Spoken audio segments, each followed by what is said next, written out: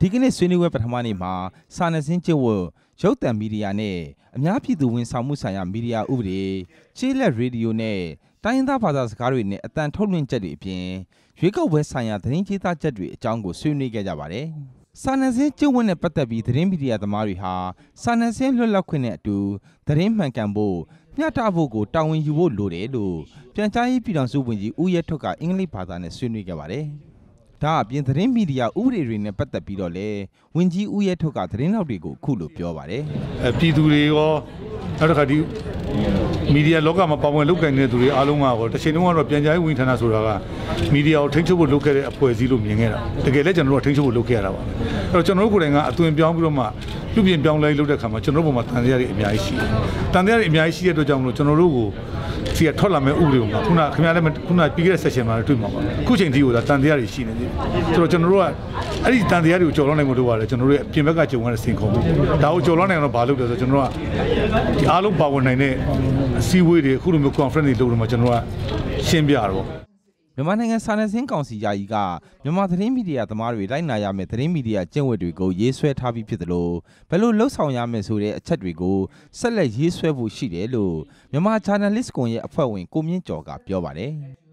စာနယ်ဇင်းကောင်စီက2012စက်တင်ဘာလမှာဖွဲ့တယ်ပြီးတော့နိုဝင်ဘာလမှာပဲကျွန်တော်တို့ဟိုကျင်းဝတ်နဲ့ပတ်သက်လို့ဟို code of ethics ဆိုပြီးတော့တမျက်နှာအကွဲချက်15ချက်ပါတဲ့အောင်စကြေညာလိုက်တယ်ဆိုတော့ဒီဟာကပထမဆုံးမှတ်တိုင်ပေါ့နော်ပထမဆုံးမှတ်တိုင်ဒါပေမဲ့အဲ့ဒီ15ချက်ကိုဘယ်လိုကျင့်သုံးကြမလဲဆိုတဲ့ဟာမျိုးဟို guideline လိုမျိုး conduct လိုဟာမျိုးမရှိသေးဘူးအဲ့ဒီဟာတော့ ဒီနှစ်ဆန်းမှာဒီစာနယ်ဇင်းကောင်စီကဒီဟာရှိဖို့လိုအပ်တယ်ဆိုရင်ဟိုဟို IMF နဲ့ဆွေးနွေးကြတယ် IMF ကတော့သူတို့ကဟို material တွေဟိုငွေကြေးတွေထောက်ပံ့မယ်စာနယ်ဇင်းကောင်စီကတော့ဒီကိစ္စတွေလုပ်မယ်ဆိုတော့ဒါ2012မှာဒီဟာပေါ်လာတာပေါ့နော်ဆိုတော့ဒီအကြောင်းလေး ကျွန်တော်အရှင်းပြပြီးတော့ကျွန်တော်တို့ဒီဟာတော့အခုချိန်မှာတော့တော်တော်များများကျွန်တော်တို့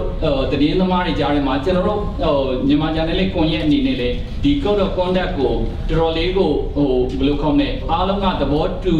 ကြပြီးတော့ဒီဟာပေါ်မှာလိုက်နာမယ်လို့ကျွန်တော်တို့ဟိုလက်ခံထားကြတာမှာပေါ့နော်ဆိုတော့ဒီနယ်ပယ်မှာတော့တော်တော်များများဒီချင်းဟိုနဲ့ပတ်သက်လို့အခုချိန်တွေကတော့လွန်ခဲ့တဲ့10နှစ်တော့လွန်ခဲ့တဲ့3နှစ်နဲ့ဆိုင်တော့တော်တော်လေးရောက်နေပြီလို့ကျွန်တော်ထင်ပါတယ် မြန်မာနိုင်ငံကသတင်းမီဒီယာတွေမှာသတင်းတွေကိုအလွန်အကျွံရေးသားကြသူတွေမီဒီယာကျင့်ဝတ်နဲ့အညီရေးသားကြသူတွေနဲ့ညွှန်ကြားချက်အရရေးသားထားတဲ့သတင်းတွေဆိုပြီးသုံးမျိုးသုံးစားတွေ့ရတယ်လို့ဘလော့ဂါကိုနေဖုံးတက်ကဆွေးနွေးခဲ့ပါတယ်အခုလက်ရှိအချိန်မှာကျွန်တော်တို့မြင်နေရတာ၃မျိုးပေါ့နော်အနောက်မှာကြံခဲ့တဲ့လူတွေပေါ့အရင်ပုံစံတိုင်းကျင့်သုံးနေတဲ့မီဒီယာတွေနောက်တစ်ခါတကယ် ethic ဖြစ်ပြီးတော့ ethically ပေါ့နော်ကျွန်တော်တို့တကယ်ကိုကျင့်ဝတ်နဲ့အညီရေးနေတဲ့မီဒီယာတွေရှိတယ်လို့နောက်တစ်ခုက လွန်ထွက်ပေါ့နော်လွန်ထွက်ဆိုတော့နည်းနည်းလေးခုနကကိုကိုမြင့်ကျော်ပြောရတယ်လို့ပဲကျွန်တော်တို့နည်း